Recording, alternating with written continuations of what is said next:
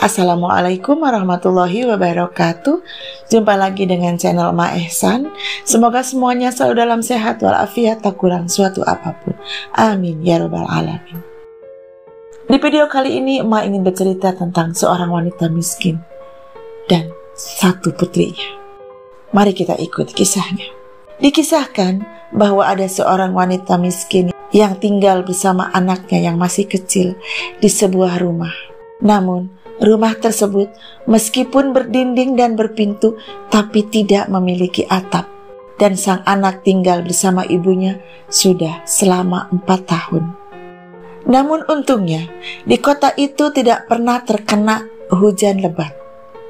Tetapi pada sore itu berita di TV memperkirakan akan ada hujan lebat karena berkumpulnya awan di langit kota.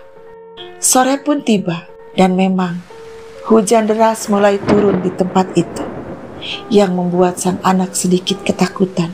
Apalagi hujan membasahi ibu dan anak tersebut.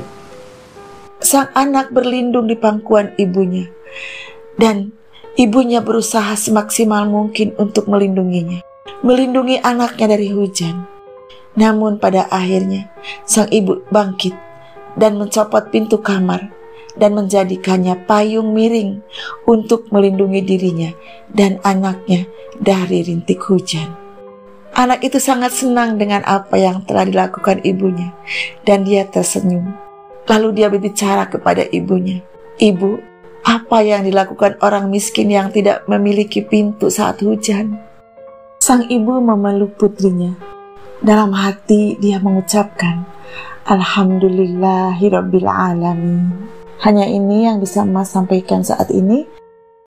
Jadilah rumah Anda sebagai surga yang penuh ketenangan, bukan tempat bermain yang penuh dengan kegaduhan. Sebab ketenangan itu sebuah nikmat yang besar. Terima kasih yang sudah menonton. Jangan lupa subscribe jika berkenan. Assalamualaikum warahmatullahi wabarakatuh.